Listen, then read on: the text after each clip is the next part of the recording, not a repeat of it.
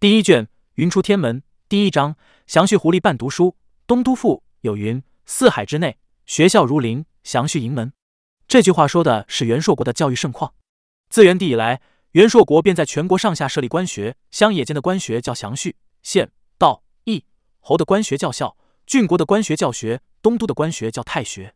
裘水镜从朔方城来到天士园，路上见到的却是另一番景象，与《东都赋》中的记载并不相同。沿途乡镇的祥序非但没有学生迎门，甚至可以说是门可罗雀。有些祥序已经倒闭，祥序中杂草丛生，野狐遍地，多生精怪。近三十年来，乡下人都往城里跑，乡下只剩下妇孺老幼守着些薄田度日，于是滋生了不少问题。裘水镜心中的乡村承载着他童年的美好，印象中的乡村山清水秀，人杰地灵。而这次沿途所见，却是一副礼崩乐坏、道德瓦解的景象。别的不说，单单祥序之教便出了很大的问题。乡镇的青壮都去了城里，剩下些老人孩子。有些钱财的夫妇往往会把孩子接到城里，送到官学里求学。剩下来的都是没钱的，父母在外务工，爷爷奶奶哪里能管得了那些孩子？留守在乡村里的孩子没有父母管教，非但不去详叙中学习，甚至呼朋唤友，拉帮结派，横行乡邻。往日学生迎门的乡间详叙。现在能有三五个少年能够在里面求学，便算是不错了。没有了世子，乡野详叙便办不下去了。没有了详叙，乡下的孩童便无处求学，渔民便越来越多，乡下恐生乱象。到了无人区之后，更是让裘水镜连连摇头。不过，他此次来到天士园的目的，并非是为了到乡间体察民情，而是另有打算。水镜先生，天色渐渐晚了，不如就在这详叙中暂且落脚，吃些东西，等到天门出现的时候再做打算。裘水镜身后，一个世子出声道：“裘水镜看了看落日，点了点头，与一众世子走入一处破败的祥序之中。只见这里荆棘遍地，应该是废弃了有些年头了。几个世子收拾一番，正欲烧火做饭，突然只听得祥序的内堂竟然隐隐约约传来读书声。裘水镜神情微动，抬手做出晋升的动作，悄然起身，循着读书声来到祥序内堂。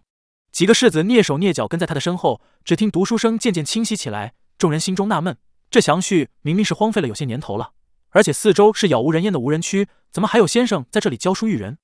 详序里教书的未必是人。裘水镜似乎猜出他们的心思，低声冷笑道：“世子们心中凛然，向内堂看去，只见一只半人多高的黄皮老狐狸人立起来，左手持教鞭，右手握书卷，正在堂上踱步来去。而堂下赫然是十几只狐狸，黄的、白的、红的、花的，各自正襟危坐，摇头晃脑，诵读经书。”妖邪作祟，开智慧，明事理，开始诵读圣人文章，将来必定幻化成人，为祸世间，甚至与人争夺天下。裘水镜心生杀机，正欲动手，突然目光一顿，心中的杀机渐渐淡了。只见那课堂上狐妖遍地，而狐妖群中竟然有一个黄山少年，也是正襟危坐，与狐狸们一起摇头晃脑，诵读文章。那少年十三四岁的年纪，眉清目秀，唇红齿白，很是认真的求学。这课堂上除了这少年之外，没有一个是人，天士园名声凋敝，乡间祥序崩坏，人不再教孩童，孩童也不再求学，反倒是狐妖教书育人，读书写字。裘水镜心中感慨万千，而且难得有一个好学的人，罢了罢了，就放过他们吧。这个少年竟然在无人区与一众狐妖一起求学，也不害怕，真是古怪。他转身离开，世子们惊讶，连忙悄悄跟上他，来到祥旭的院落里。裘水镜不说话，世子们也不敢询问。过了片刻。忽听钟声传来，课堂里孩童们的欢叫声、吵嚷声，喧哗一片。众多狐妖一冲而出，吵吵闹闹。待看到院落里的众人，十几个狐妖纷纷两条腿站在那里，瞪着眼睛，张着嘴巴，不知所措。世子们纷纷向裘水镜看去，裘水镜微微一笑，不以为意。祥序中脚步声传来，一个略带稚气的声音道：“花二哥，离三哥，你们不要跑太快，等等我。”世子们循声看去，却是那个人类少年落后了一步，刚刚走出课堂。一个女世子看清了那少年的动作，低呼一声，向旁边的世子道：“他是个瞎子。”其他世子细细打量，各自恍然。那个少年双眸一片雪白，没有眼瞳，目不能视，果然是个瞎子。难怪他会与狐妖一起上课。众人心中暗道：他目不能视，只能听到声音，误以为自己身边的都是人，却没想到跟他一起求学读书的都是妖魔。那少年虽然目不能视，耳朵却很灵敏，笑道：“先生，先生，详叙里来客人了。”读读，拐杖落地的声音传来。那个教书的黄皮老狐狸拄着拐杖走出课堂，口中传来苍老的声音：“贵客远道而来，有失迎迓，恕罪。”说罢，老胡面色一沉，向那些小狐狸道：“下课了，天也晚了，你们赶快回家。”小狐狸们急忙一哄而散。裘水镜向那个瞎眼少年看去，却见那少年虽然眼盲，但却像能够清晰的看到四周一般，向他和世子们微微欠身见礼，随着那些狐狸离开这片破败的祥序。裘水镜略感惊讶，侧头看着那少年的背影，若有所思。他叫苏云。那黄皮老狐狸咳嗽一声，抬起手来，引领着裘水镜向内堂走去，道：“天是元天门镇人，今年十三岁了。苏云七岁的时候，家里生了变故，眼睛不知何故瞎了，挺可怜的。不过他是个好学的孩子，一日到了我这里，听到了读书声，便走不动路了，非要听讲。我见他好学，于是便让他留下了。”裘水镜哦了一声，淡淡道：“他是天门镇人。据我所知，天是元天门镇早就没有活人了。”不仅天门镇没有人，天门镇方圆百里也是无人区。黄皮老狐狸停下脚步，侧头看他，这狐狸露出微笑，胡须微微抖动。先生听到的多半是谣言。裘水镜打量内堂，只见正堂上挂着一幅画，画的是梅兰竹菊对应四君子，上面有题字，写着“为人师表”四字，没有落款，不知是何人所画。那黄皮老狐狸来到画下，面对裘水镜正襟危坐，将拐杖横在膝上，肃然道：“城里来的先生，还请留个全尸。”裘水镜从画上收回目光，询问道：“阁下如何称呼？”老胡道：“他们叫我野狐先生。”城里来的先生如何称呼？裘水镜。裘水镜微微欠身，水镜带领门下学生路过宝地，舟车劳顿，借先生宝地落脚，还请通融。那老胡抬起头，惊讶的看着他：“你不杀我降妖除魔？子曰有教无类，不正是野狐先生所做的吗？”裘水镜肃然道：“先生是妖，苏云是人。”先生没有因为他不是同类而不教他，这正是老师的作为啊。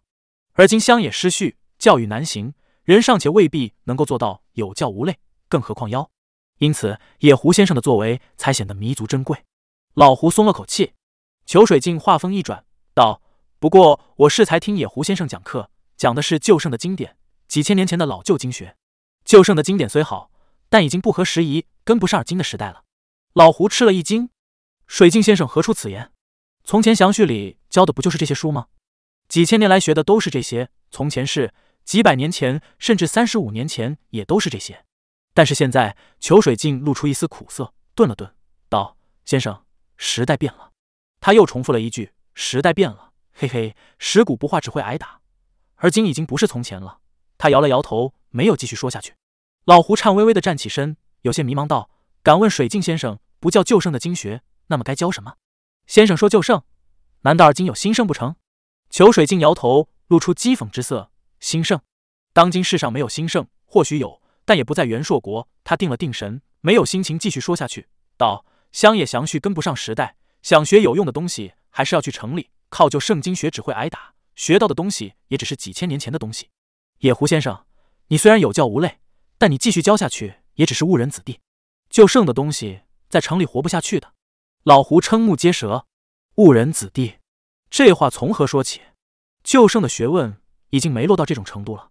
过了片刻，老胡向裘水镜拱了拱手，化作一阵妖气，消失不见。裘水镜迈步出堂，到了三更天，裘水镜正在打坐假寐，突然精神一振，张开眼睛，低声道：“醒来，天门开了。”祥序中，一众世子都睡在地上，闻言纷纷翻身而起，露出激动之色。灭篝火。裘水镜吩咐一声，立刻有世子把篝火熄灭。呼！裘水镜纵身而起，跳到详序屋顶，几个世子吐起葫芦，落在他的身边。夜晚的天士园各个村落没有任何灯火，与城市的灯红酒绿完全不同，只有天上的繁星与月牙点缀夜空。冷风萧瑟，裘水镜低声道：“开天眼，否则无法看到天门。”他身后的世子纷纷取出一片玉质树叶，那树叶是眼眸形状，被他们贴在眉心，如同一枚树眼。开！一众世子纷纷低喝，只见他们眉心的玉质树叶渐渐隐没到他们的肌肤之下，消失不见。一个世子眉心的皮肤下有东西滚动一下，然后皮肤向两旁裂开，露出一只咕噜噜转动的眼珠。其他世子的天眼也纷纷打开，各自四下张望，不由得一个个身躯大震，低呼道：“天门真的开了！鬼市，鬼市也出现了！”第二章：天门开，鬼市现，天是原荒野，一片黑暗，只能隐隐约约看到群山的轮廓。树林的阴影，忽然一座荒坟之中，光芒如霞，透坟而出。那光芒化作数不清的文字，字大如斗，累累如壁，自坟冢内冲天起，缥缈缤纷，烂如锦绣，光芒上逐霄汉，与星月争辉。那是大儒之墓。裘水镜提点众人道：“大儒生前诵念圣人文章，以经学治世，文章微言大义，烙印在杏林之中，化作杏林神通。其人死后，杏林不散，神通也不散。到了夜晚，便有华丽文章自墓中而起。这文章便是他们的杏林神通。”那些士子纷纷张望，却见天石原的荒山野岭之间，一处处粉种各色光芒绽放。一时间，这暗夜中的天石原宛如白昼，明亮无比。当然，这是天眼所见。倘若是普通人，肉眼凡胎是断然看不到这幅异象的。有些粉种上空是锦绣文章，有的粉种则是大佛坐莲台，神态肃穆，遍体豪光，威严广大；有的是玉宇琼楼，砖瓦叠加，雕梁画栋，斗拱相承，狼腰漫回，岩崖高卓；有的是花卉、树木、兵刃、器皿，还有的是神龙凤凰等神兽，又或者是山精水怪、妖魔鬼神，如此等等，让人看得眼花缭乱。这便是杏林神通所化的异象，万千粉种上空的杏林神通，竟然组成了一片金碧辉煌的门户，从天世园的乡野中拔地而起，立于高空之上。无数奇诡文字自地面铺到空中，金灿灿，一路铺到那门户前，宛如台阶。而在那门户后，则是一片金碧辉煌、美轮美奂的城市，仿佛天上神城，令人仰止。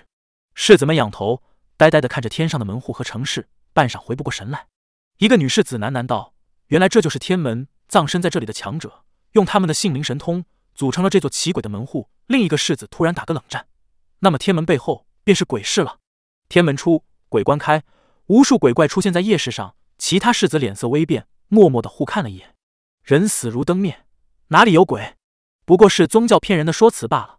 裘水镜目光锐利如剑，扫了他们一眼。山野村夫这么说，倒也罢了。你们都是在官学里求学多年的世子，也都修炼性灵，为何还如此迷信？他衣袖一抖，一身正气凛然。所谓妖魔鬼怪，无非是人的性灵作祟，甚至所谓神奇，都是性灵所化。有些灵士修炼性灵，死后性灵不灭，依附于山野之中的禽兽身上、草木身上，于是就成了人们口中的妖魔鬼怪。一个世子道：“水镜先生，我们傍晚时遇到的那只野狐，也是人的性灵所化吗？”非但野狐先生是性灵所化，便是连那些小狐妖，也都是人的性灵。裘水镜大袖飘飘，飞身从祥旭上落下。向天门走去，道：“他们的性灵太弱，蒙昧无知，不能自我显化，只能依附在飞禽走兽身上，化作狐妖。因为懵懂，所以往往没有人性，只有兽性。兽性凶残，因此需要降妖，除掉他们。”另一个世子道：“倘若附着在草木上呢？”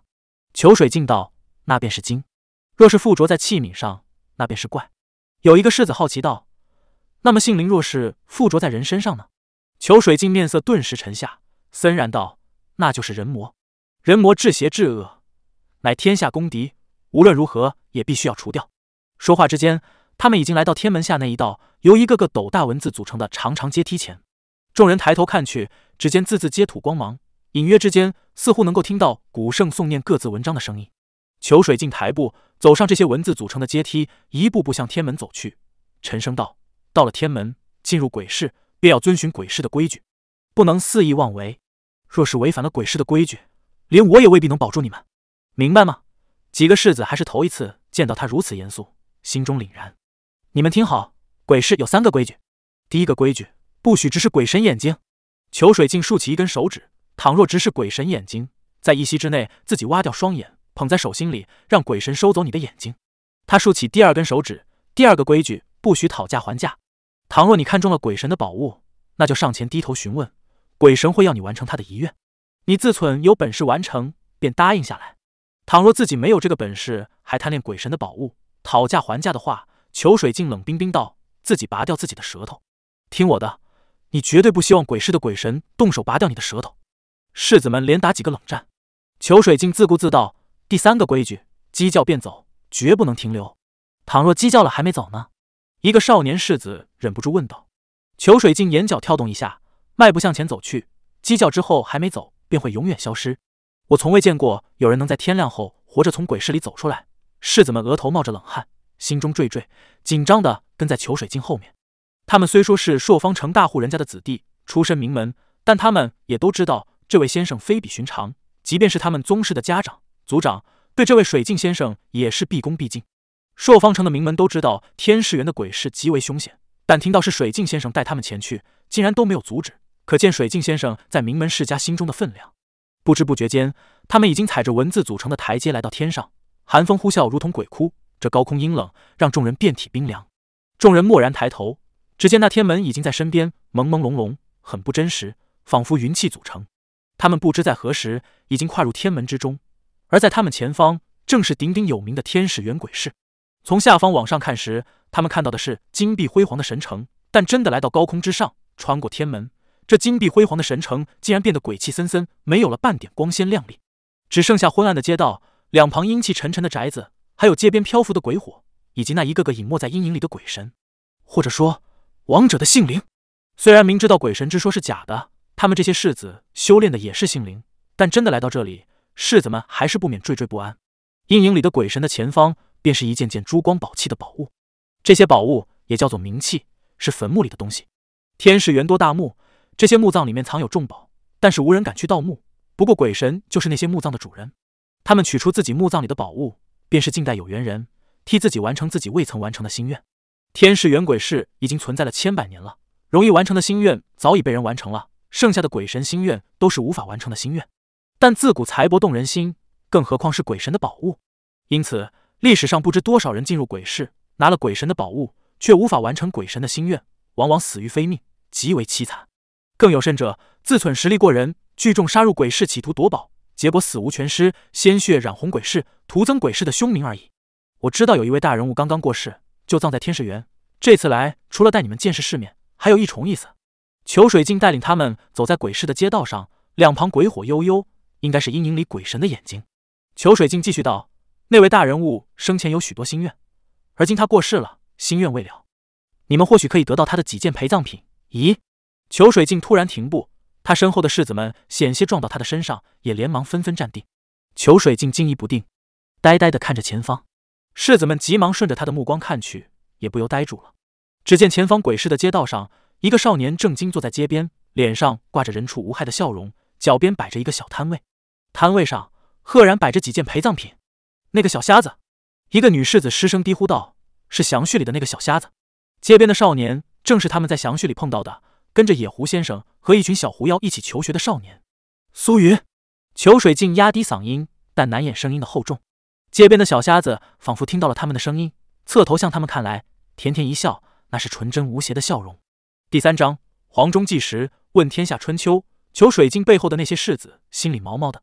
那个叫苏云的少年，尽管笑容里充满了阳光，但是在这阴气沉沉的鬼市中，却显得倍加阴森恐怖。一个十三四岁的少年。而且还是一个瞎子，竟然混在一群狐妖之中，跟着一头老狐上学读书，跟着狐妖上学倒也罢了，关键他又是怎么闯入天门，跑到鬼市里来的？要知道，这天门鬼市是矗立在高空之中，寻常人根本看不见天门的道路，更别提进入门后的鬼市了。一个小瞎子是如何登上高空来到这里的？如果他是从天门进入鬼市，那么肯定无法瞒过裘水镜等人的眼睛。倘若不是从天门进入鬼市，难道还有另一条路可以进入鬼市？更为诡异的是，他居然与鬼市里的鬼神一样，也在鬼市中摆摊。难道说他根本不是活人？倘若他是活人的话，鬼市里的鬼神怎么会容忍他在这个地方摆摊？然而，倘若他是死人的话，他又是怎么活生生的出现在众人面前的？世子们恨不得把那个带着人畜无害笑容的小家伙抓过来，把他研究透彻。就在此时，突然一个世子恍然大悟，失声道：“我知道了，他是人魔。”此言一出。即便是裘水镜也不由得身躯一震。人魔，性灵依附在人的身上，化作泯灭人性的魔。这个叫苏云的少年，先是与狐妖在一起求学，现在又出现在鬼市上。无论鬼神还是狐妖，都没有视他为异类。难道他真的是邪恶无比的人魔？裘水镜突然压低嗓音：“天门鬼市还有第四个规矩，管好自己，其他的事绝不要多问。有时候过问的事情太多，会死人的。”世子们心中凛然，天门鬼市应该没有第四个规矩。裘水镜是担心他们的安危，这才告诫他们不要多管闲事。是城里来的先生吗？瞎眼少年笑着问道。是。裘水镜深深看了那个叫苏云的少年一眼，道：“他怔了怔，突然有一种如释重负的感觉。他不是人魔。他看到了苏云的性灵神通。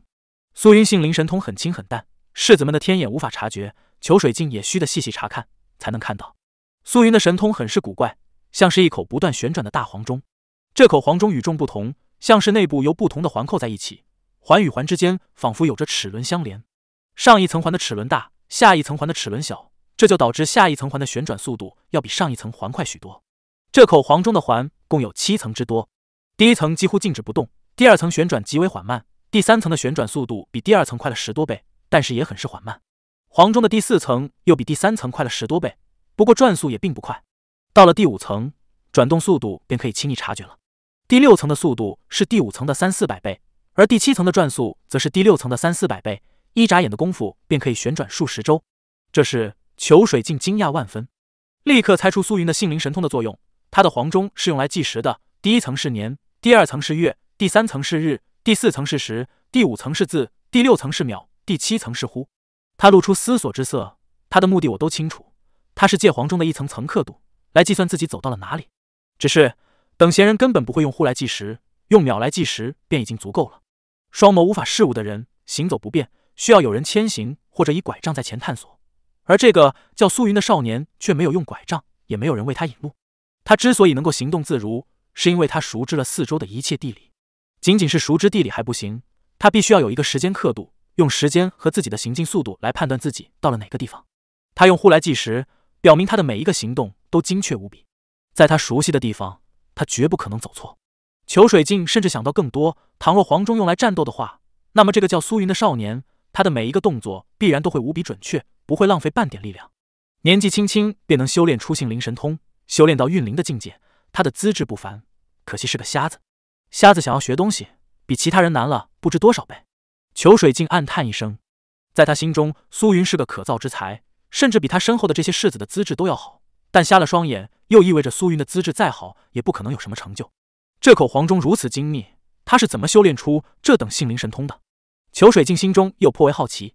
如此复杂的黄钟，精密至极，容不得半点差错。就算是朝廷掌管立法的官员，也未必能够修成这样的性灵神通，更何况一个孩子。他对这个叫做苏云的少年越来越好奇了。苏云，天士元天门镇，十三岁，七岁的时候家里出了变故。七岁，也就是六年前。六年前，天门镇，裘水镜脸色微变，又看了苏云一眼，带着世子们向鬼市深处走去。鬼市极大，曾经不少人都试图寻找到鬼市的尽头，然而从未有人能在一夜之间将这里探索一遍。裘水镜此次也打算探索鬼市。不过见到了苏云之后，他便没有了这个心情。他寻到那个大人物的姓林，让世子们各自前去询问大人物的遗愿。裘水镜在一旁默默地听着大人物的姓林述说自己的遗愿，心中感慨万千。他认识这位大人物，非但认识，而且当年的交情匪浅，甚至可以称为挚友。后来两人因为一件小事发现彼此理念不同，这才慢慢疏远。虽然理念不同，但他对这位大人物没有怨怼之言，心中只有尊重。因此才会带着世子们前来完成大人物未了的心愿。我此宝名叫浮世千华笔，乃我毕生所练。取此宝只有一个要求：誓死报国。裘水镜听到大人物的姓灵说出这话，脸上露出笑容，心里却有些酸楚。自己这位挚友，即便是在死后也放不下这个国家。他们两人都选择了救国的路，只是目的虽然相同，但实现的方式不同，因此是理念上的区别导致了他们的分道扬镳。可是论这份报国救国的拳拳之心。裘水镜倒觉得这位挚友更加纯粹一些。反观自己，中年时便已经消磨掉一切进取之心，狼狈的离开东都，躲到朔方这个地方。后方传来人声，裘水镜收拾心情，转头看去，只见鬼市又来了其他人，陆陆续续有几十人。应该是天门开市，朔方的豪强也派人前来碰碰运气。至于天士园，因为那场变故，已经没有豪强世家了。到了下半夜，世子们都有所收获，裘水镜便命他们先行一步离开鬼市。吩咐道：“你们前往天使园驿站，先走一步回朔方城。我可能会在这里逗留一段时间。”世子们离去，裘水镜目送他们走远，这才返回天门，回到鬼市。他远远站定，注视着那个名叫苏云的少年。苏云毫无察觉，他所卖的那些器物都是来自于坟墓中的冥器。不过相比鬼神的宝物，他的器物都是寻常东西，称不上宝物，没有什么用。来到鬼市寻宝的人，经过他的摊位，也仅仅是打量一眼，便径自离开。夜。越来越深，鬼市中渐渐没有了人。苏云开始收拾东西，把自己的摊位卷起，装在篓子里，背在身后，向鬼市深处走去。裘水镜悄然无息地跟上这个少年，不知不觉间，他们已经来到鬼市的深处。鬼市从地面往上看，是一片金碧辉煌的神城，广袤无比，看不到尽头。走在鬼市中，越深入其中，四周的建筑便越是暗淡，没有颜色。他们脚下也越来越软，像是走在云雾之上。即便是裘水镜也迟疑起来。鬼市太大，继续跟着这个少年前进的话，万一没有时间折返回来，自己岂不是要葬身在鬼市之中？他刚刚想到这里，突然苏云停顿下来。这个小瞎子没有沿着街道继续走下去，而是走入了左侧的巷道。裘水镜挑了挑眉毛，巷道是鬼市中最危险的地方，那里有一些古老时代遗留下的不可思议的东西，无法解释的东西。更为关键的是，巷道七弯八拐，路径复杂，像是迷宫，还从未有人能够从里面走出来。裘水镜迟疑一下。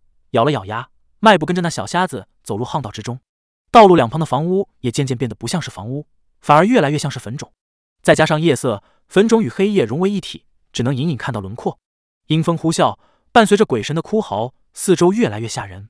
前方，小瞎子苏云看不到四周的情形，只是依照自己的脚步和黄钟的转动来辨识自己所处的方位和路径。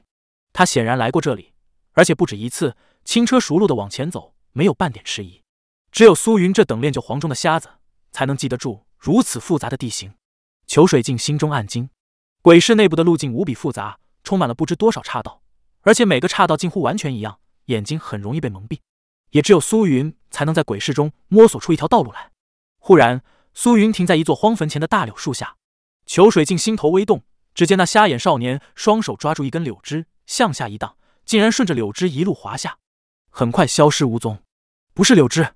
是神仙锁，裘水镜心中一惊，急忙上前向下看去，只见柳树下竟然是一个洞口，二尺见方，黑黝黝一片，有阴风从洞口中传来。而刚才苏云抓着的柳枝竟然迎风而长，让这少年拽着柳枝一路深入洞中。仔细看去，那柳枝是一条鸡蛋粗细的麻绳，正是裘水镜所说的神仙锁。裘水镜迟疑一下，猛地咬牙，也伸手抓住麻绳，向洞中滑去。如此滑行不过六七尺，突然他身下一空。裘水镜抓紧绳索，低头看去，只见他抓着麻绳，高悬在高空之中，麻绳随风摇曳，他也在风中摇晃不定。他抬头看去，只见头顶便是鬼市，麻绳正是从那个洞口中垂下来。这神仙锁是一位强者的性灵神通。他放下心来，顺着柳枝向下滑落，心中又有些好奇：神仙锁显然是给苏云这个少年准备的，那么到底是谁为他准备的？他颇为不解，而且那口黄钟也不是野狐先生能够教出来的。苏云身上。肯定有什么秘密。裘水镜顺着高空一路向下滑去，过了良久，这才脚踏实地。他仰头看去，不由一怔，只见自己站在一株歪脖子柳树下，树高不过两丈，歪脖子树干上挂着一根绳索，而在树下还有一座荒坟。刚才他正是抓着这根绳索从高空滑落下来。这根麻绳就是那根神仙索，这株柳树就是拴着神仙索的那株坟头柳树。我明明一路滑下来几里地，为何落地后才不过两丈？裘水镜额头冒出根根青筋。苏云是个瞎子，看不到这种诡异情况，所以从来不去想如此古怪的问题。但是他能够看到，反而被这些古怪事情滋扰，乱了心神。目不能视，或许不是弱点，也有可能成为优势。裘水镜查看树下荒坟，只见荒坟的墓碑已经倒伏下来，显然多年无人打理。荒坟里埋着的人，一定是位大人物。神仙锁应该就是他的灵兵。他为何照顾苏云这个小瞎子？东方已经渐渐泛白。黑夜将去，那个叫苏云的少年背着篓子走在前面。前方迷雾泛起，迷雾中矗立着一座巨大的牌坊，有五个门户，雕龙刻凤，很是华丽。然而这座牌坊已经破败，年久失修，仿佛随时都会倒下来。裘水镜跟着少年走到近前，抬头看去，借着黎明前的微光，牌坊上三个古朴的红字映入他的眼帘：天门阵。这便是鼎鼎有名的天门，传说是能工巧匠仿照天门鬼市的天门雕琢而成的。裘水镜刚刚想到这里。忽然，一股凉凉的海风吹散了天门后的雾气。建在北海海岸的悬崖峭壁之上的天门镇，宛如海上的城市，就这样出现在他的面前。第四章：北海中断，天门开。天门镇，裘水镜心神晃动，难以自持。雾气散去，天门镇仿佛是从鬼域中回到现实一般。雾气散去之时，镇上的建筑是黑白二色，但渐渐的有了其他色彩。裘水镜的眼角剧烈抖动一下，即便他拥有天眼，也看不出这种色彩变化。到底是真的存在，亦或是有人用法力强加在他视觉上的幻觉？天门镇空无一人，除了海风声、浪涛声，便是苏云的脚步声。这座城镇是一座空镇，除了他们之外，没有其他人。过了片刻，裘水镜才稳住心神，打算跟上苏云。传说天门镇的房屋也是仿照天门鬼市的那些院落打造而成的。他心中暗道：据说原本居住在天门镇的人都大有来头。有个传闻说，他们都是奉大帝之命来到这里研究天门鬼事，借此寻找长生之妙。就在此时，天空突然晃动起来，海面上有阳光洞照，照向天上的鬼市。天空中，天门鬼市像是风吹大木一般剧烈晃动，在阳光的风暴中消失。神秘的鬼市就这样变得无影无踪，不知哪里去了。裘水镜张开天眼，只见天空中各种瑰丽光芒坠向天使园荒原上的一座座大墓之中，消失不见。唰！百十多道光芒从天而降，竟然落在天门阵的牌坊后面，化作一个个鲜活的身影，出现在这原本空寂无人的街道上。他们来来往往，相互招呼，很是热闹。裘水镜心中微动，天门阵早已没有活人了，这些只是显化的性灵罢了。苏云走到一座大宅前，仿佛能够看到大宅前扫地的老人，躬身道：“屈伯早。”那老人停下手中的扫帚，温和道：“鱼儿赶集回来了，天不早了，早点休息。”说罢，那老人瞥了裘水镜一眼。没有理会，裘水镜眉心天眼转动，从他的天眼看去，这老人身后的大宅在不断崩塌，不断重构。苏云继续向前走，来到另一座宅邸前，躬身道：“罗大娘早，好孩子回来了。”妇人站在门前，正忙着扬稻谷，慈眉善目的笑道：“早点回家，吃点东西歇一歇，别忘记明天的课。”裘水镜向罗府看去，那宅邸也在不断崩塌重构之中，一边无声无息的破碎，一边无声无息的重组。苏云走在天门阵中。仿佛不知道这里除了他之外没有一个活人，向镇上的人打着招呼：“发儿姐早，徐大叔早，乐奶奶早。”裘水镜看着这一幕，心中生出荒诞离奇的感觉。这一幕让他恍惚间以为天门镇还在，以为镇上的人都还活着。可惜他们都是死人，已经死了六年了。苏云来到一座宅院前，推门进去。过了片刻，里面升起袅袅炊烟。裘水镜站在这片破败的宅院前。只见瞎眼少年正在忙碌着给自己做早饭，他回头看去，天门镇中人来人往，极为热闹，与寻常的小镇并无区别。他不知道自己是这里唯一一个人类。裘水镜心中暗道：他一直以为镇上的人都还活着，而镇上的这些杏灵也在瞒着他。他站在院外，静静地看着正在吃早饭的少年，心中默默道：野狐先生说的没错，天门镇还有活人，可惜的是只剩下一个活人，而且还是个孩子。那件怪事发生在六年前。那么，他的眼睛应该也是在六年前的怪事中瞎掉的。那时的他还是个不经事的孩子。苏云吃罢早饭，收拾一下碗碟，回到房中，努力回忆野狐先生讲解的功课，又休息一番，这才睡下。他忙了一宿，虽然没有赚到什么钱，但也着实疲惫。没多久，他便沉沉睡去。太阳升起，明媚的阳光来到天门镇，便显得有了几分阴郁，被小镇上空的阴霾挡住。裘水镜站在院外，只见苏云的陋室之中，那口黄钟渐渐变得清晰起来。人在睡着的时候，心底如明镜一尘不染，这时候性灵神通便会清晰的折射出来，比白天时更加清晰强大。裘水镜凝目看去，只见黄钟最底层旋转不停，而在中下则是一个两寸高的人儿，正襟危坐，呼吸吐纳。那正是苏云的性灵。黄钟是性灵所念，幻化而成。裘水镜默默的看了良久，发现苏云的性灵修炼的只是最为基础的夫子养气篇。夫子养气篇只是单纯的养气，调养元气。并没有关于如何修成性灵神通的内容。那么，苏云是从哪里学来的性灵神通？还有一个可能，裘水镜目光闪动，心道：那就是他自己在脑海中幻想出一口黄钟，用来计时。如此心心念念，幻想不断，甚至到了夜晚，他的性灵也在幻想这口黄钟。久而久之，幻想变成了观想，从而修成了性灵。倘若是这样的话，他的资质未免太好了一些。他有些迟疑，灵式修炼。极少有人能够在没有名师教导的情况下，靠自我摸索修成性灵神通的。苏云能够做到，表明他的资质极佳。这样的人被埋没在乡野里，与野狐为伍，着实是浪费了这身资质。但苏云又偏偏是个瞎子，想要教会他复杂的修炼知识，只怕会极为困难。而且，苏云即便学会了，成为灵士，他目不能视，也无处发挥自己的本领。是个好苗子，终究还是可惜了。裘水镜暗叹一声，收回目光。行走在天门阵中，细细查看那些有鬼神隐匿的宅邸，观察这些宅邸的主人。天门阵弥漫着若有若无的雾气，六年的时间让这个小镇远不像表面看起来那么光鲜。他能看破天门阵的本质。对于六年前的那场怪事，裘水镜也有所耳闻。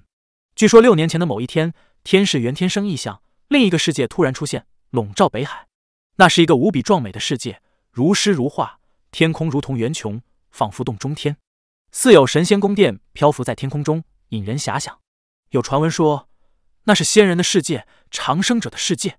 从那个世界传来的引力让北海的海水倒流，海面上出现一道粗达三十余里的水柱，水柱长达数万里，连通那个世界，形成连接两个世界的通道。天使园附近的高手纷纷向北海赶去，试图进入那个洞天世界之中，而他们落脚的地方便是天门镇。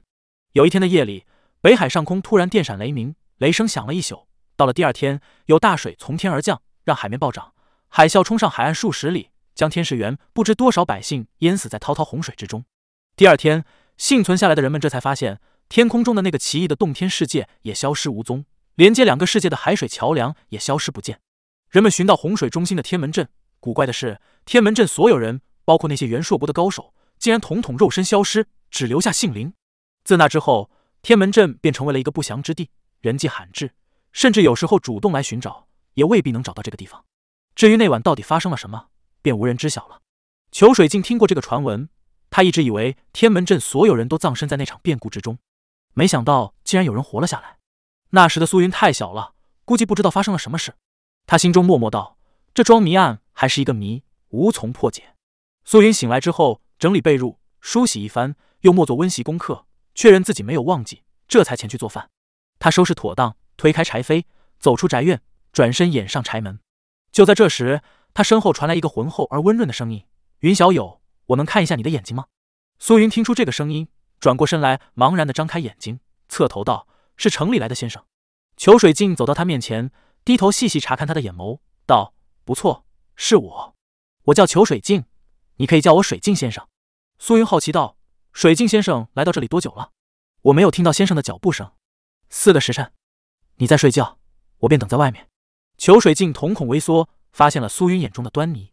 只见苏云的双眼并非完全没有眼瞳，而是他的眼瞳仿佛受到强光刺激，聚集到一个无比纤细的小点，而且这个小点也被堵住，导致没有光线映入眼瞳。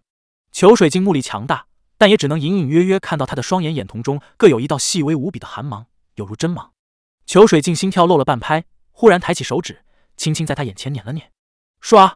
苏云眼中有明亮无比的光芒从瞳孔映照出来，裘水镜眼前一片雪白，过了片刻才恢复视力。只见一片光幕从苏云的眼中照射出来，投在天门镇的天空中。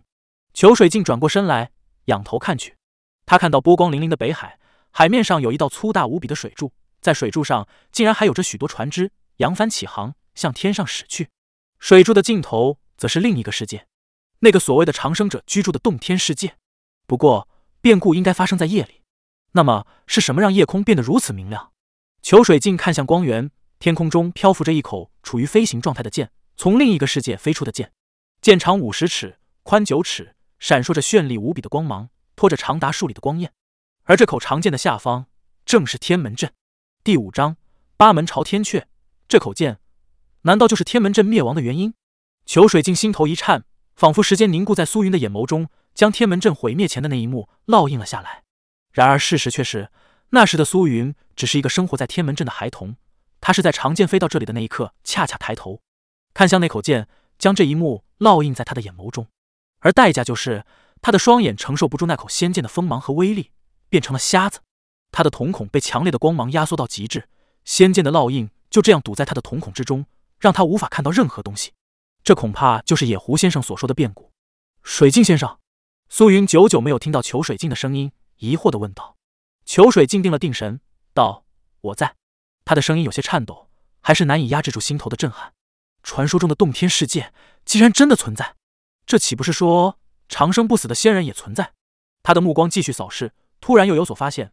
只见那口仙剑下方的天门阵与现在的天门阵有所不同。天门阵中有八面阙，每一面阙都极尽精美，上面雕绘各种神兽异兽，宛如杏灵神通攀附在雀上。朝天阙。裘水镜眼角跳动一下，对照这八面朝天阙和天门牌坊的方位，心跳顿时变快。这八面朝天阙与天门形成一个奇特的阵势，定居在天门阵的高手研究天门鬼事已经有所成就。这洞天长生世界是他们，是他们。他脸色阴晴不定，猛地镇住心神，确定自己的猜测是他们自己打通的。他终于理顺了这里面的关系。元朔国的大帝命国中高手来到此地研究天门鬼事，企图寻找出天门鬼事的秘密。从而满足大帝长生不死的愿望。这些民宿来到了天门镇，与天门镇的镇民生活在一起。这些镇民之中就有苏云一家。这些高手改造天门镇，把天门镇原来的房子拆掉，仿照了天门鬼市，重建天门镇。他们的研究也有了突破，这突破便集中在八面朝天阙上。他们以各自的性灵神通加持在朝天阙上，一天夜里，他们终于打通了另一个世界的门户，将两个世界连通起来。而之后的变故便超出了他们的预计。他们试图进入那个世界，结果遇到了那个世界的抵抗。一口仙剑从那个世界中飞出，将他们斩杀，同时杀死了天门镇所有人。而连接两个世界的水柱从天而降，造成了北海的海啸，让天士园死伤惨重。天门镇四周方圆百里变成了妖魔四行的无人区。是天门镇的强者造成了这场灾变。不过苏云为何没有死？裘水镜大惑不解。天门镇所有高手都死了，无论人畜悉数消失，只有高手留下了性灵。为何苏云这个普普通通的孩童没有死在这场变故中？或许是天门镇的强者觉得连累了这个无辜的孩子，因此在灾变中保全了他。裘水镜心道：“天门镇灾变过后，他们也因此对这个孩子多加照顾。这或许是一个解释，但不能让裘水镜满意。还有一点让他想不通，那就是天门镇的高手倘若是被仙剑所杀，那么他们的性灵应该更容易被斩杀。性灵是依附于肉身的，更加脆弱。古怪的是，天门镇的高手们性灵却保留下来，他们的肉身却不翼而飞。”不可能，所有人的肉身都被消灭，性灵却保全下来。这说明我的猜测并非全对。当年肯定还发生了其他让我意想不到的变故。裘水镜目光闪动，天门阵的谜团并未全部解开，还有那八面朝天阙的下落也是一个谜。他环顾四周，天门阵的建筑都还在，甚至包括天门也未曾毁在灾变之中，唯独那八面打通另一个世界门户的朝天阙消失了。到底是谁取走了八面朝天阙？要么是东都的大帝。要么就是有人虎口夺食，有趣。裘水镜微微一笑，散去法力，那仙剑的投影又再度回到苏云的眼中。你并非真的瞎了，而是有异物堵住了眼瞳。裘水镜微笑道：“只要化去堵在你眼瞳中的异物，或者让他离开你的眼瞳，双眼便可以恢复。”苏云激动起来，随即又黯然。他该怎么化去眼中的异物？他这几年来听镇里人的话，在集市上摆摊，期望有人能看上他的宝物，为他治疗双眼。可是。显然，他的宝物不是真正的宝物，从未有人动心过。我拿不出这么多钱。苏云嗫嚅道。裘水镜笑了起来。我也没说由我来治愈你的双眼。苏云低头抿了抿嘴唇。这是个有些倔强的少年，不愿意求人。裘水镜笑道：“我只是传授你治疗你的眼睛的办法，治愈你的双眼，那是你的事情，与我无关。你治疗自己的眼睛，还需要给自己钱吗？”苏云惊讶的抬起头来。不过。我并非是学校详序中的官学老师，而是私学里的先生，给贵胄公子补课的私学先生。裘水静笑道：“所以学费还是要收你的。你给我一枚五铢钱，我便教你。五铢钱是元朔国最小的钱，一枚钱重五铢，因此叫五铢钱。”苏云脸色涨红，手在袖筒里摸索了半晌，始终没有掏出来。裘水静疑惑：“你不会连一枚五铢钱也没有吧？”苏云羞愧的点头，连忙道：“先生，我的那些宝贝儿。”裘水镜哭笑不得，苏云的那些宝贝儿其实是平民的陪葬品，一文不值。裘水镜是个脾气古怪的人，有着自己的原则。他一直认为知识是有价格的，自己可以教苏云如何治疗眼疾，但苏云一定要有付出，不能白给。当然，他教给苏云的东西远不止一枚五铢钱。之所以一定要收一枚钱，正是他的原则作祟。他也是因为这种脾性，所以才在东都混不下去，只得辞官离开那个是非地。先生稍后，苏云连忙道。我去寻野狐先生借一枚钱。裘水镜哈哈大笑，笑声震散天门阵的阴霾，让阳光照落下来，恰恰照在苏云的宅院上。我随你一起去，传授你之后，我便回朔方了。苏云在前面带路，裘水镜又看到黄钟浮现了出来，不断旋转计时，心中微动，道：“苏云，你是怎么活下来的？”苏云微微一怔，裘水镜道：“我的意思是，你双目失明之后发生了什么事？”少年继续前行，走出天门阵，道。我也不知道发生了什么事，我只记得当时我睡了一觉，睡醒之后便发现自己被关在一个狭小的房子里，我就拼命的敲，是岑伯打开房门把我放了出来。岑伯就是住在柳树下的岑伯。苏云抬手指去，裘水晶又看到了那株歪脖子柳树，柳树下没有人，也没有房屋，只有一座荒坟。岑伯就住在我家旁边，是个古怪的人，不喜欢与人说话。他告诉我我家被毁了，让我搬到这里去住，于是我就住到了镇里。镇里的叔伯都很照顾我。裘水晶听到这里，四下张望：“你原来的家在哪儿？”苏云抬手一指，裘水晶顺着他指的方向看去，只看到一个小小的坟墓，一口已经腐烂破败的小棺材。裘水镜沉默下来。这个少年那时六七岁，昏死之中被人当成死人，装入棺材里埋了起来。他醒来之后，应该是在夜里敲打棺材，惊动了不远处歪脖子柳树下的坟墓中的杏灵，也就是岑伯。岑伯将他从坟墓中救了出来，并且指点他去镇上居住。苏云双眼已盲，根本不知道跟自己说话的不是人，更不知道自己所居住的天门镇只有他一个活人。第六章，无人区的居民们，裘水镜看向苏云，目光中充满了怜悯。他并不知道自己曾经死过一次，想来在他的心中，此时的天门镇应该还是六年前的模样吧。裘水镜甚至觉得治愈苏云的双眼，对这个少年来说显得有些残忍了。他的眼睛被治愈之后，便会发现天门镇的真相，也会发现野狐先生和同学少年的真相。这对他来说应该是个很大的打击，不过这也会让少年成长。他的双眼中烙印着八面朝天阙的细节，这世间恐怕只有夺走朝天阙的那人和苏云才知道朝天阙的奥秘，只有他们才知道如何开启天门。裘水镜心中默默道，而且他的眼中还烙印着仙剑摧毁天门阵的那一幕。倘若他能炼化眼中的烙印，他的成长速度一定极为惊人。先生当心，狐丘村不太好走，路上有些危险的地方。苏云在前面带路，这个少年眼盲心不盲，轻车熟路的走在前方，似乎比正常人的眼力还要好，能够准确的避开任何障碍。第一个危险的地方便是前面的蛇涧，那里有一条大蛇，凶得很。花二哥叫他全村吃饭蛇。裘水晶听到这里，不由怔了怔。全村吃饭蛇？是的呢。上次花二哥的堂哥不留神跑到了蛇涧，被那条大蛇咬了一口。野狐先生好不容易把他抢回来，没有被大蛇吃掉。然而还没回到家，堂哥身子就硬了。后来胡丘村办丧事，喇叭唢呐吹得可欢了，全村都去吃饭。花二哥他们就叫那条蛇全村吃饭蛇。正说着，他们来到了蛇涧。裘水镜听到嗦嗦的声音，循声看去，只见水涧中的礁石上盘着一条黑色大蛇，身上的鳞片黑的泛着金属光泽。那大蛇正在仰头对着太阳吸气呼气，一吸一呼间，气息极为悠长。裘水镜和苏云走出几十丈远近，他才完成一次呼吸。他呼吸的时候。身上的每一个黑色鳞片像是活了过来一般，围绕着身体旋转。吸气时正向转动，呼气时逆向转动。一个强者的性灵，其人死后，性灵依附在黑蛇身上，化作了蛇妖。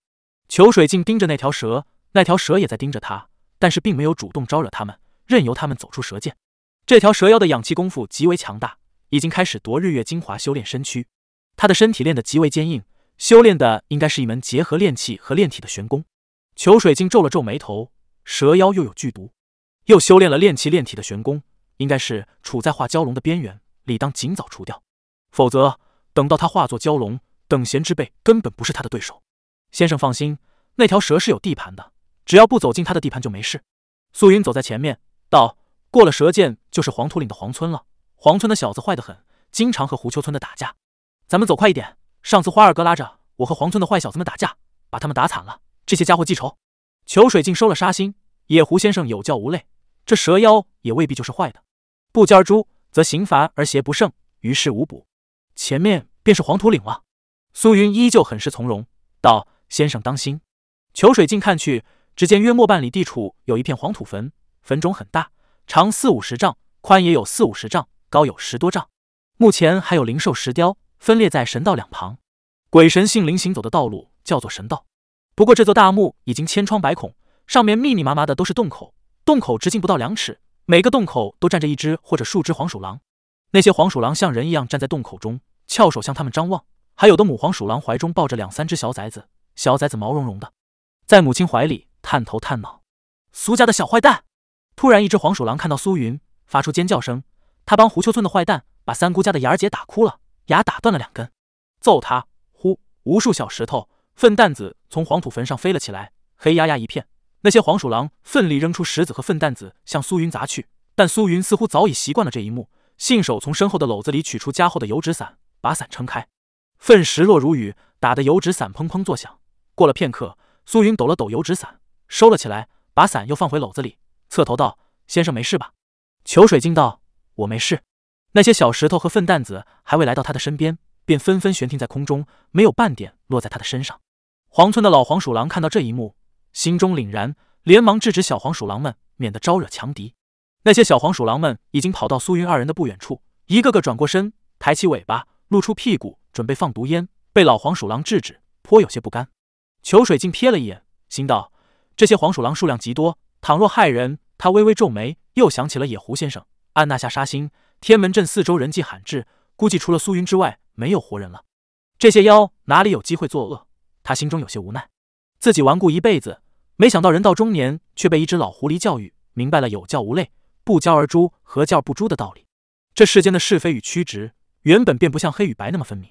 他心中感慨道：“终于，他们来到了狐丘村。”苏云露出笑容，呼喊道：“野狐先生，花二哥，黎三哥。”我和水镜先生来看你们了。裘水镜微微皱眉，突然抓住他的手，示意他停下，谨慎地盯着前方小小的村落。狐丘村是一座不大的村落，有着几十栋房屋，但每一栋房屋都很小，高不过四五尺，方圆不过两丈，像是小矮人居住的房屋。这村落是建在一片小土丘上，树木成荫，每株树下有三五栋房子。不过此刻狐丘村一片狼藉，不少屋舍被掀翻。裘水镜皱眉，又看到几具狐妖的尸体。苏云也嗅到空中的血腥味，心中有些慌乱。裘水镜的声音传来：“你目不能视，倘若心乱了，方位也就乱了，失去了方向感，你在天世园活不了多久。”苏云竭力稳住心神，然而黄忠还是乱了片刻。裘水镜等他心境恢复，这才带着他走出第一步。苏云迈出了这一步，又回到先前的从容的神态。这是裘水镜最欣赏他的地方。一个年仅十三岁的小瞎子，必须有一个无比强大的心灵。才能在天世园这妖魔横行之地生存下去。小瞎子苏云已经独自生存了六年时间，他有一种天塌不惊的气魄。苏云面色淡然，走入胡丘村，脚下触碰到倒塌的房屋，于是蹲下身子，在废墟中摸索。裘水晶看着他，没有帮忙。过了片刻，苏云摸索到一具尸体。出乎他预料的是，他摸索到的并非是人的尸体，而是狐狸的尸体。他默默地坐在那里，没有像普通的少年那样大呼小叫。过了良久。苏云颤巍巍地站起身来，继续在一栋栋倒塌的房屋的废墟中摸索。许久之后，少年将几十只狐狸的尸体从废墟中抱出来，放在地上，仰头道：“水镜先生，哪位是野狐先生？”裘水镜牵着他的手放在一只老狐狸身上。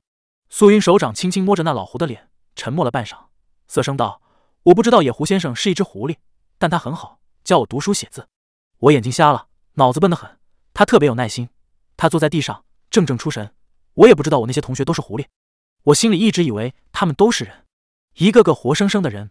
花二哥十四岁了，黎三哥比他小了两个月，邱小妹年纪最小，才六岁。裘水镜四下查看交手的痕迹，道：“应该是昨晚天门鬼市的那些人做的。”先生，我记得那些人的声音。裘水镜回头看去，只见苏云的面容无比平静，平静的有些可怕。第七章，红炉善变，造化为功。他们每一个人经过我身边时说的话，我都记得一清二楚。苏云的语气也无比平静。我眼睛瞎了之后，便只能靠声音来认人。如果再次听到他们的声音，我一定会认出他们。这时，远处的山林中传来窸窸窣窣的声音，几只头脸血迹斑斑的狐狸在树下探头探脑。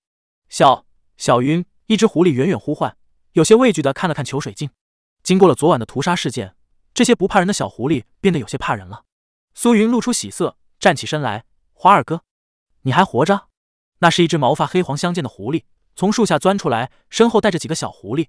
小狐狸们牵着前面的伙伴的尾巴，带着恐惧走了过来。为首的花狐又带着畏惧看了看裘水镜，确认不是残杀狐丘村的人，这才大着胆子带着仅存的三只小狐走近。苏云站在那里，让花狐和三只小狐心里顿觉安定。这个少年像是他们的主心骨，给他们一种可以依靠的感觉。这种感觉并非是没来由的，而是六七年的相处，苏云那种从容不迫的气质气度带来的影响。早上来了些城里人，说是在鬼市里没有讨到好，便来降妖除魔。先生和他们理论，人家不理，只说我们会害人。苏云静静听着，问道：“二哥还记得他们的面容吗？”花狐摇头，羞愧道：“我带着弟弟妹妹逃跑，没有来得及看清他们的脸。我只记得其中一个人很是清秀，年纪不大，一身红火衣裳，身后突然就真的冒出火来，火里面有神鸟飞出来。”苏云记下这个特征，转过身来拜道：“水镜先生的话还作数吗？”裘水镜看着匍匐在地的少年，过了片刻，方才道：“我说话自然作数。不过你有钱吗？”苏云站起身来，摊开手掌，手心里是几枚染血的五铢钱，应该是他刚才收尸时在废墟里寻到的。裘水镜从他手心里捏起一枚五铢钱，却在此时，苏云把其他五铢钱都塞给了他。裘水镜怔了怔，疑惑地看着他。苏云仰头：“野狐先生教我六年，不以我是人而驱逐我，恳请先生。”不因他们是狐儿驱逐他们。裘水镜思索，道：“野狐先生教你收你的钱了吗？”苏云摇头。裘水镜将那几枚染血的五铢钱还给他，道：“他教人不收钱，我教几个狐妖，倘若要收钱，那就是不如他了。这枚五铢钱是你的学费，他们不用。”苏云收下那几枚五铢钱。裘水镜看着他和花狐一起安葬野狐先生，安葬狐丘村的狐妖们，这里面有不少是他们的同学。花狐和那几只小狐狸免不了又大哭一番。他们回到详序里，裘水镜瞥了苏云和四只狐狸一眼，道：“野狐先生教你们的。”是夫子养气篇吧？你们学了几年了？苏云点头，我学了六年。花狐道，我学了七年。其他三只小狐狸也各自学了两三年。裘水晶淡淡道：“夫子养气篇虽然是正统的养气功法，但世间岂有五千年不变的教材？而今时代，十年不变便算是落伍了。我来到乡下，发现城乡之间竟似隔着千年的差距一般。”他摇了摇头道：“我要教你们的是京城官学中最新的、最基础的筑基功法。”红炉善变养气篇，且夫天地为炉兮，造化为功，阴阳为叹息，万物为同。这句话是红炉善变养气篇的总纲。夫子养气篇原本只是用最简单的方式温养元气，虽然简单容易上手，但想要修炼精深很难。而红炉善变养气篇却是把自己的身体当成天地，内蕴红炉，激发造化潜能，以体内的阴阳之气为炭，五脏六腑筋骨血液为铜，练就强大的元气。这种养气功法尽管复杂，但是却极为有效。修炼速度要胜过夫子养气篇不知凡几。裘水镜由浅入深，先从夺日月精华，以自身为天地，天地为红炉讲起，再讲如何造化为功，再讲如何以阴阳为炭，万物为铜。苏云等人本来根基变浅，再加上红炉善变养气篇着实深奥，即便是裘水镜这样的大家，也花费了五六日时间，才让他们堪堪入门，学会养气篇的上篇。这其中，花狐学得最快，他有夫子养气篇的根基，因此上手容易。其他三只小狐狸次之，只有苏云学得最慢，他目不能视，裘水镜只得一遍又一遍的手把手教导他，极为吃力。好在苏云虽然学习速度慢，但脑瓜灵活，举一反三，对红炉善变的理解反而最深。这几日，苏云邀请花狐和其他三只小狐狸来天门镇居住，然而花狐他们却对天门镇畏惧万分，宁愿住在祥序里。苏云又邀请裘水镜住在天门镇，裘水镜也婉言拒绝，少年只得作罢。这日清晨。裘水镜带着一人，似乎迎着朝日呼吸吐纳。忽然，裘水镜只觉身边似乎多出了一轮小太阳，不由张开眼睛看去，却是花狐的方位。花狐虽然是妖，但资质悟性都很不错，已经修成了第一重。裘水镜暗暗点头，采朝日精气，以自身为炉，淬炼肉身，栽培元气。这正是修成红炉善变第一重的征兆。花狐能够在五六天的时间便修炼到这一步，放在世子之中都算是了不起了。裘水镜查看其他三狐，三只小狐狸虽然根基浅。但静静也是不慢，要不了多久便会修成第一重。他又查看苏云的静静，微微皱眉。苏云对红炉善变的理解虽然很深，但是他毕竟是瞎子，可以学会理论，但身体想要掌握，需得付出比其他人多出数倍的努力才行。而且苏云修行的静静之慢，有些出乎他的预料。按照他的预测，苏云因为眼疾，学的速度最慢，但修炼速度应该最快。没想到苏云反倒是最慢的一个。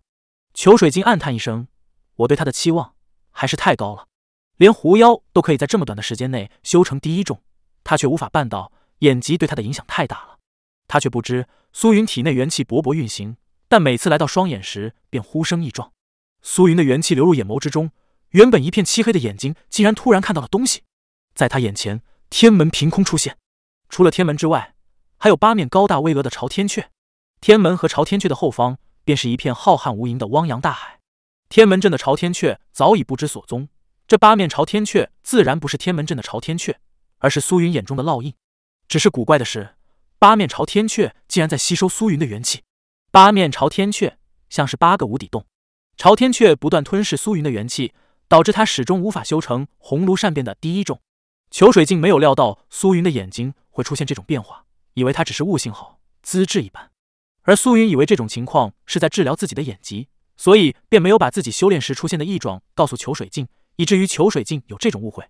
等到早课结束，裘水镜便动了离开的心思。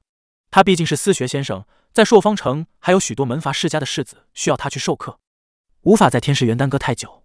他把红炉善变养气篇的下篇囫囵传授给众人，便动身离去。云：当今天下，寒门难出贵子，为何？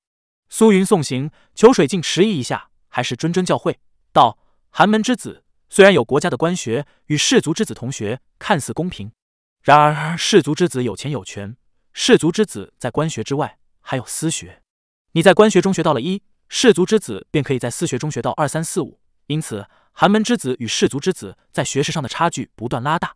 苏云亦步亦趋的跟着他道：“我听说韩氏苦读，可以出人头地。大错，有私学在，韩氏绝不可能比士族之子更加刻苦。官学中教的东西。”都是大而化之的东西，但私学，他们可以请来我这样的老师。裘水镜道：士族之子比寒门之子更加用功。官学放学，乡野的孩子跑去玩耍，而士族之子在私学里求学。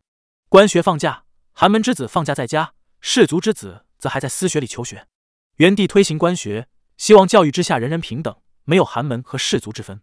但从元帝到现在过去了百年，教育其实已经被垄断在士族手中。寒门的孩子没有钱去上私学。官学里又学不到最新的知识，阶层固化日趋严重。寒门之子的升迁之路，于化龙的路已经越来越窄。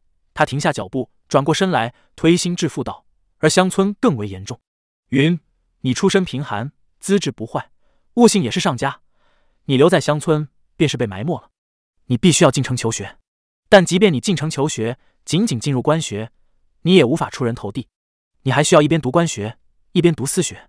不过。”就算你与世子学的一样，你们的学问一样，你也未必能鲤鱼跃龙门，因为世族之子还有显赫的家世、广阔的人脉，而这一切需要你用十几年甚至几十年去追赶。这公平吗？不公平，但是公正，因为这是他们祖辈拼搏留下的遗产，他们继承祖辈的遗产理所当然。一个寒门世子没有根基，没有家世背景，也没有人脉，想要出人头地，那么你便只剩下一个他人不具备的优点。裘水镜拍了拍自己这位学生的肩头，语重心长道：“那就是野性，乡野的野性，城里的世子所不具备的野性。”他大袖飘飘向前走去，声音远远传来：“城里就是一个天地鸿炉，到处都是斗争与机遇。你只有保存野性，以野性为阴阳，以奋斗为炭火，点红炉夺造化，才能跳出固化的阶层，越界飞升。”第八章：天桥出云海。裘水镜虽然走远。但他的声音依旧清晰地传入苏云的耳中，振聋发聩。你想治愈双眼，红炉善变氧气篇的上篇修炼到第七重时，便可以化解你眼中烙印。但你想飞黄腾达，想出人头地，只有离开乡村，前往城里。此去五十三里，便是天市园驿站。你治好双眼之后，可以从那里进城。记住，治好双眼才可以去驿站。进城之后，记得找我。过了良久，苏云这才折返回去。他能感受到裘水镜诚挚勉励的心意，心里很受感动。他更加刻苦的修行。然而红炉善变养气篇，他尽管学会，却进进缓慢。他双眼中的八面朝天阙还在不断吸收他的元气。他的元气修为在这段时间非但没有进步，反而还退步了不少。更为可怕的变化是，他的饭量激增，吃完饭要不了多久便感觉到饿。好在花狐和其他三只小狐狸经常弄来一些鸡鸭鱼肉和水果，让它可以果腹。花狐和其他三只小狐狸也饿得飞快，修为进境十分迅速。花狐已经修炼到了红炉善变氧气篇的第二种，向苏云讨教红炉善变氧气篇的下篇。苏云虽然还没有修成红炉善变氧气篇的第一种，但他的悟性着实高。红炉善变的下篇，裘水镜尽管只讲了个大概，但他已经参悟透彻。上篇是学，下篇是用。下篇的开篇便是恶龙吟，鼓荡胸腔元气，发出恶龙雷音。恶龙吟震荡气血、筋膜，强壮身躯。壮大力量，花狐修炼没有多久，体内便传来一阵接着一阵的恶龙雷音，很是惊人。花二哥的资质真好。苏云露出笑容，心里由衷为花狐开心。他不能修炼下篇的恶龙吟，修炼恶龙吟需要先观察真正的恶龙，观摩恶龙如何吐纳，如何发出龙吟，从而做到观想恶龙的地步。苏云虽然把恶龙吟的诀窍参悟透彻，但是因为目不能视，无法观摩恶龙而做到观想，所以无法修炼。这一日。苏云在朝阳升起之时吞吐日月精华，忽然感觉到那八面朝天阙不再吸收他的元气，心中不由一喜。朝天阙不再吸收他的元气，他体内的元气顿时变得磅礴火热，如同一个小火炉在丹田里熊熊燃烧。他感觉到体内的阴阳之气仿佛化作了炭火，五脏六腑筋骨仿佛化作了铜柱和铜炉，血液似乎变成了被烧化的铜水。这便是造化为功，造化之力转变肉身机能，壮大元气。红炉善变的第一重终于练成，他的元气熊熊在体内奔腾。苏云心中欢喜，倘若水镜先生在这里就好了。可惜我迟到了十几天，他刚刚想到这里，眼前忽然发生异变。只见那八面朝天阙的表面，各种神兽异兽的纹理，仿佛都像活过来一般，从朝天阙中飞出。一时间，苏云的脑海中充斥着各种神兽异兽的嘶吼和鸣叫，长吟震耳欲聋。神兽异兽飞舞，一发冲向天门。这些异兽攀附在天门上，竟然化作了天门的一部分。忽然，一股剧烈的波动传来，嗡！天门中光芒从门框的四处流出，填满了各个门户，最终在中央的门户化作一面光幕般的镜面。而那镜面之后，便是那个让元朔国大帝和无数强者也为之迷醉的长生者的世界，所谓的仙界。只是苏云并不知道这些。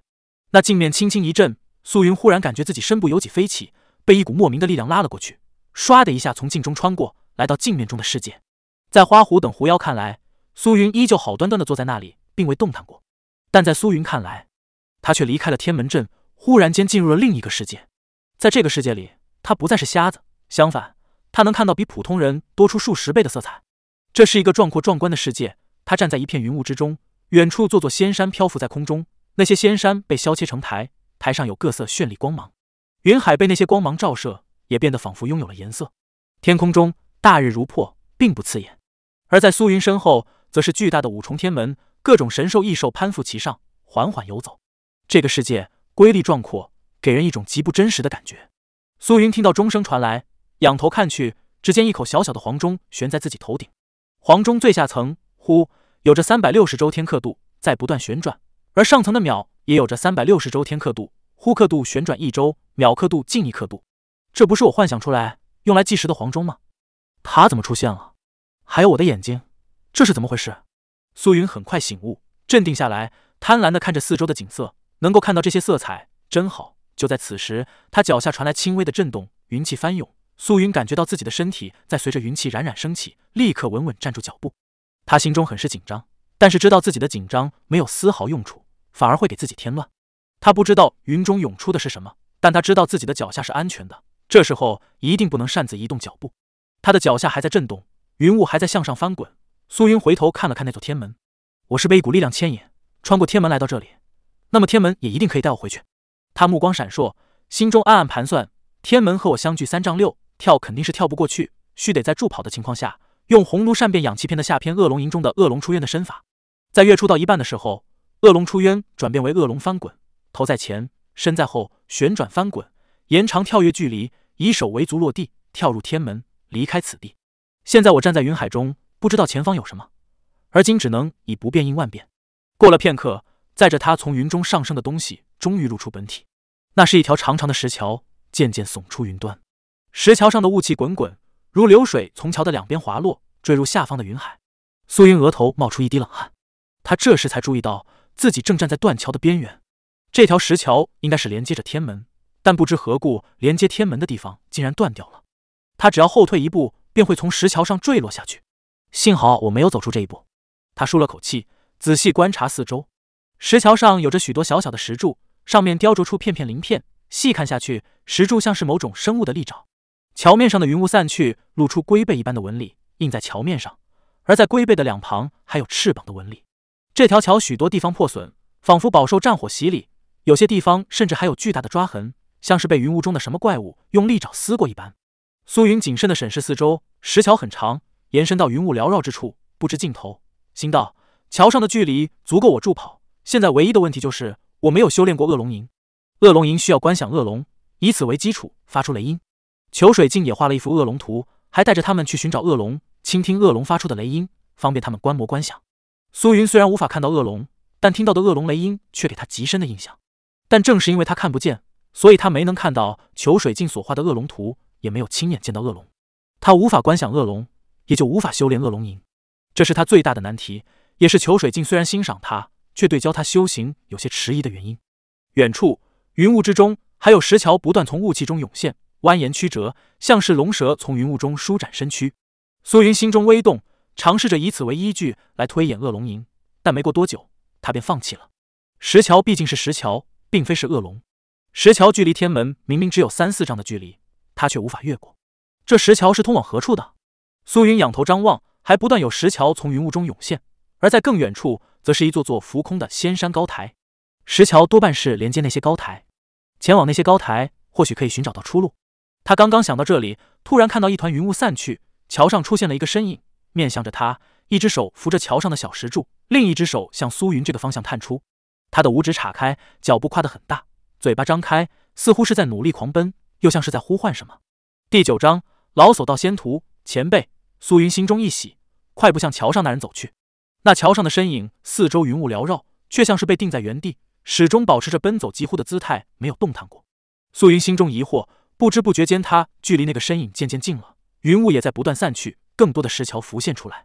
与他猜测的一样，这石桥果然是连接其中一座仙山云台的，而那桥上的身影应该是从那座仙山云台上冲下来。苏云的脚步越来越慢，谨慎地盯着石桥上的那个身影。他呼唤了几声，桥上的那个身影却始终没有回应，也没有动弹过分毫。那身影四周的云雾也渐渐明了，那不是云雾，而是一幅展开的画卷，正环绕着他。那画卷像是由光幕组成，只有飘荡在那人身后的两个画轴可以表明这是一幅画，而环绕那人四周的云雾，则是四周的云海在画上的投影。更加古怪的是，被画环绕的那人给苏云一种熟悉的感觉，像是在哪里见过，而且越是接近，这种熟悉感越强。那是个老人，佝偻着身子，但是却给人一种极为高大威猛的感觉。他好像是住在天门镇第一户的曲伯。苏云越走越近，对于天门镇第一户，他自然很是熟悉。六年前，他没有眼盲的时候，经常跑出来玩耍。冲出天门时，总会遇到住在第一户的曲伯。那是一个很和蔼的老人，总是拿着凿子和锤子，站在天门旁的架子上，叮叮当当的凿石头。每次看到苏云，还总会和苏云开玩笑。变故爆发后，苏云双眼看不到东西，但每次经过天门镇的第一户时，也总会与曲伯打招呼。曲伯在天门镇，自然不可能出现在这里。不过，桥上的那人的模样，的确与曲伯很像。苏云硬着头皮向前一步一步的走去，心中默默道：“他不可能是曲伯，因为曲伯一直都待在天门镇。早上的时候，曲伯还和我打了招呼的，他不由打个冷战。桥上的人一定不是曲伯。”石桥上的那人越来越近，苏云眼角乱跳，他看清那人的面容，桥上的这个驼背老人的确是他印象中的曲伯。苏云眼盲之后，便努力回忆自己熟悉的人的每一个细节，生怕自己忘记。而桥上的驼背老人符合他印象中的曲伯的每一个细节。苏云停下脚步，桥上的人是曲伯，那么天门镇的曲伯是谁？那个每天早上都和他打招呼、对他和蔼可亲的曲伯到底是谁？他细细看去，前方曲伯的眉心处有一个菱形伤口，可以从这个伤口看到他的脑后的景象。这应该是剑伤，一口剑刺穿了他的头颅。苏云闭上眼睛，看到曲伯眉心处的伤口，他的双眼也突然开始疼了起来，像是有剑芒从眼中爆发。他的脑海中不由自主。又想起那个让他屡次做噩梦的声音，灵灵飞行的声音，那是仙剑破空发出的剑啸，无数铃声连成一线。六年前，他便是抬头看到了发出剑啸的仙剑，导致双目失明。刺穿曲伯头颅的，就是那口大剑。不过，曲伯的伤口为何这么小？苏云强忍着眼中的疼痛，张开眼睛，喃喃自语：“曲伯，你为何会死在这里？你死了多久了？是六年前吗？那么，陪伴我六年的那个曲伯？”到底是谁？他是你的姓灵吗？曲伯临死前还在奔跑，做出疾呼状。他喊的是什么？无从知晓。不过他伸出的右手五指岔开，却是在托起那幅画，像是打算用这幅画来抵挡什么东西。那幅画像是由光幕组成，映照四周的景色，而画中却没有任何内容。它更像是一面极为纤薄、可以弯曲的透明镜子。苏云探出手掌，轻轻抚摸那幅画，忽然画面像是平静的湖面起了波澜。苏云急忙收回手掌，他的前方。画发生了变化，画上的云气渐渐消散，取而代之的是一片大泽，连绵数百里的大泽。画中突然电闪雷鸣，雷电交加，大雨倾盆。苏云呆呆地看着这一幕，这幅画的内容竟然在不断发生变化，让他有些摸不着头脑。忽然，大泽之中地动山摇，一条疙瘩嶙峋的神鳄在无数雷电中绞腾，摇头摆尾，吞吐雷云闪电。天空一片漆黑，只有雷电爆发时迸发出的亮光，短暂的点亮大泽。而那神鳄脚踏大泽，尾荡滔天泥浪，张开大口，似乎要吞噬天上星辰星宿。他的腹腔一鼓一伏，隐约间，苏云耳畔顿时传来天崩地裂般的雷音。那雷音是恶龙蜕变化作蛟龙的雷劫雷音，也是恶龙呼吸吐纳时的雷音，也是恶化蛟的蜕变雷音，也是化蛟龙之时翻江倒海的水龙吟。难道说这话可以映照我心中所想？苏云被深深震撼。适才他在想的就是如何才能修成恶龙吟离开此地。他心心念念着恶龙吟的功法，思索如何在脑海中构建恶龙的画面，完成观想。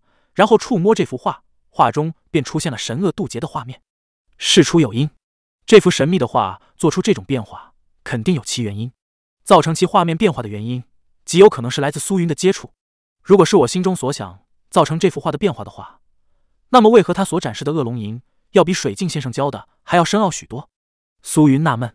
红炉善变氧气片的下篇恶龙吟需要观想恶龙，以此为基础发出雷音。裘水镜带着他们去寻找恶龙。苏云听过恶龙发出的雷音，但根本没有眼前这幅画中的恶龙化作蛟龙时发出的雷音震撼。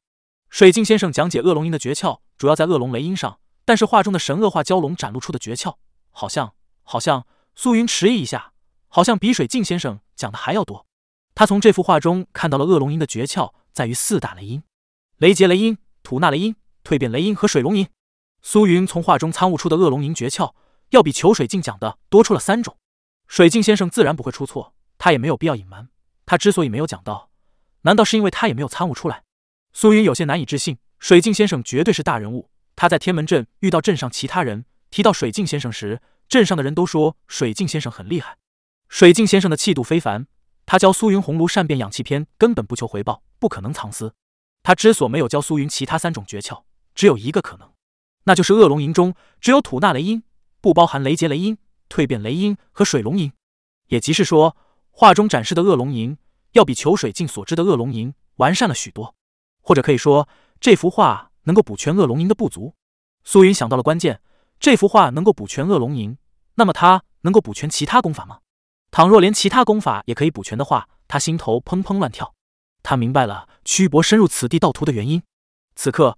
画中的神恶正在雷劫中蜕变化作蛟龙，神恶腾魔变化，将恶龙吟的一招一式清晰无比的展露出来。恶龙出渊，恶龙翻滚，神恶摆尾，龙战于野，恶龙在即，龙游去找。这六招苏云都从裘水镜那里学过，但因为没有亲眼所见，学得似是而非。而图中虽然仅仅六招，但是在画中神恶的演练下，却仿佛有万千招一般，没有重复。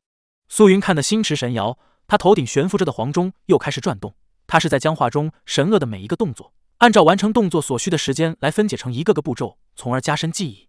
修炼恶龙吟需要以红炉善变为基础，将四大雷音在红炉中融为一体。想要做到这一步，需要身体、意识和元气有着极佳的协调能力。苏云刚刚想到这里，突然那奇异的剑啸再度传来。苏云前方画中正在渡劫的神恶，突然被一道剑光斩过，身首分离，死于非命。苏云心中一惊，那一剑突如其来，摧枯拉朽般破去恶龙吟的六大招，将神恶斩杀。画中的雷云消散，大泽也自消失无踪。这幅画是空的，只能映照四周和折射内心。我适才没有想那口仙剑，仙剑却出现在画中。那么只有一个可能。素云额头冒出冷汗，立刻向云雾中看去。那口仙剑此刻就在附近。第十章：野性张扬，云海苍茫，渺渺无尽，白云苍狗，变化莫测。云海之中。一座座仙山高台漂浮在其中，空山寂寂，高台无声，不知仙人所踪。苏云目光四下搜寻，很是仔细，他的手却伸了出来，尝试着把这幅画摘下来。不料画轴好画卷仿佛烙印在空中，纹丝不动。他移动脚步，试图绕过去，不过这幅画却恰恰挡住了他的路，让他无法绕到曲伯的身边。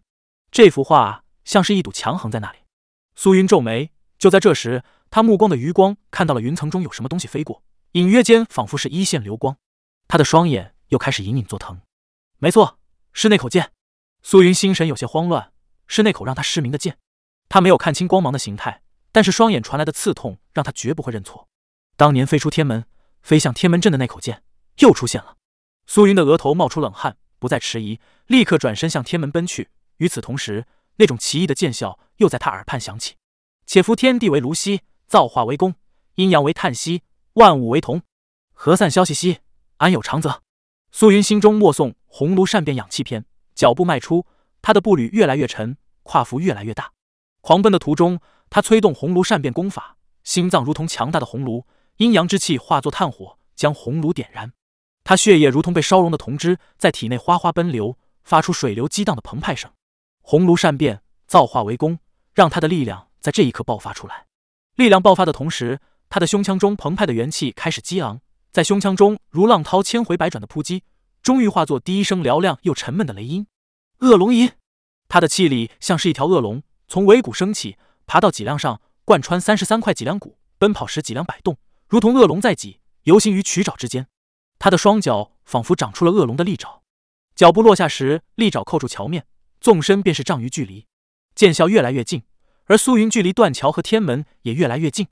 唰，明亮无比的光芒传来，仙剑飞出云层，剑光照耀世界。那剑光虽然明亮，但是苏云的视野中却是一片漆黑。这等剑光的照耀下，他看不到任何东西，与六年前一样，他就是一个瞎子。苏云面色如常，依旧在发足狂奔，在他头顶。黄钟不疾不徐的旋转，没有任何混乱。黄钟旋转的同时，他的大脑也在计算自己的速度和方位，以此来确定自己走到了哪里，距离石桥断处还有多远。每一秒，甚至每一呼的时间里，他的计算都准确无比。六年了，六年的时间里，我已经习惯了黑暗。苏云最后一步跨出，恰恰是他在断桥的边缘，纵身一跃，如同恶龙从深潭大渊中扑出，冲向猎物。他的气势凶狠无比，充斥着蛮荒、张扬。原始的野性，裘水镜看人极准，他没有说错。苏云的身上的确藏着一股子可怕的野性，难以驯化的野性。这野性平日里隐藏在少年柔弱的外表下，但生死攸关的关头便彻底爆发出来。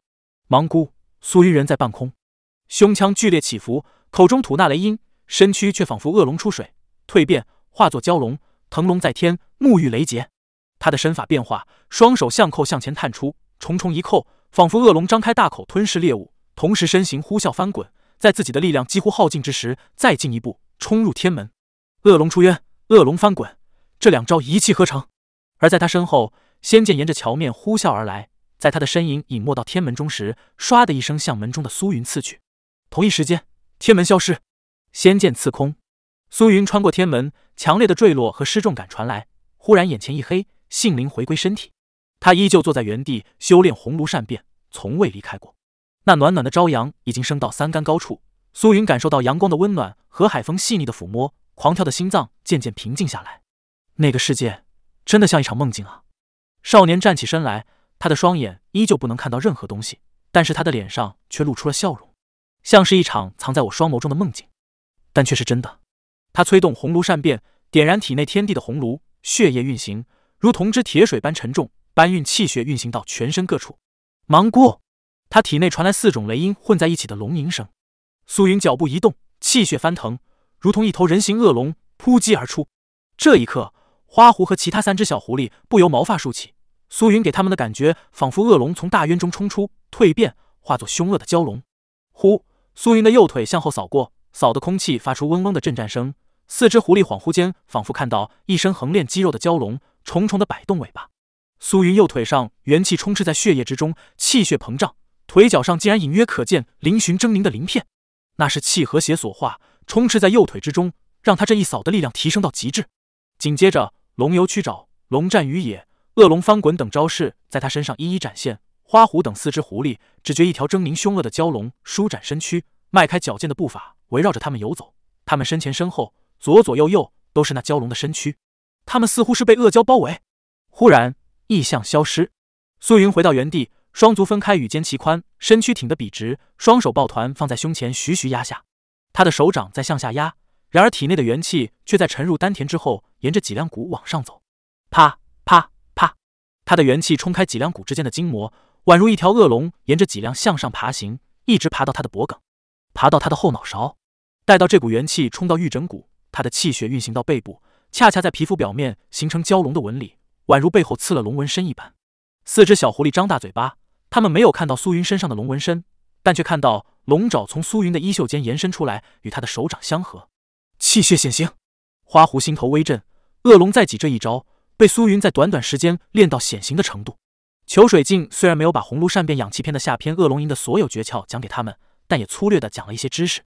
恶龙吟共有三种成就，第一种成就是修成恶龙雷音，元气和血液流动，鼓荡胸腔发出雷音。第二重成便是显形，元气和血液流过之处形成龙纹身，气血散去之后，龙纹身便会消失。第三种成就显化，那是气血强大到一定程度，仅凭气血便可以在身后或者是身遭形成恶龙绕体的异象。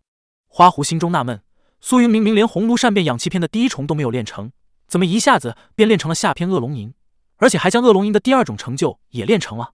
修成第一种成就并不容易，需要很高的资质和悟性。花狐只是刚刚进入这种成就，还未修炼到巅峰。想要修炼到巅峰，他估计自己需要个把月的努力才能办到。而修成第二种成就，那就更难了。气血显形，最为重要的便是气血，需要气风血盛，这就需要不断修炼红炉善变上篇，壮大气血。一般来说，需要将红炉善变修炼到第三重，才可以做到这一步。苏云原本连红炉善变的第一重都没有修成，为何现在可以依据达成恶龙吟的第二种成就？花狐大惑不解。苏云体内的气血缓缓平静下来，身后的龙纹身渐渐淡去，消失。少年屏气凝神，心中默默道：“那幅图中展露出的恶龙吟的确更为强大。我在另一个世界的经历是真的。我想再度进入那里的话，需得再度催动八面朝天阙的烙印。不过那里极为凶险。”他面色凝重。通过天门进入那个奇妙的世界，稍有不慎便可能会葬身在那口仙剑之下，极为凶险。但是值得冒险。苏云心中默默道。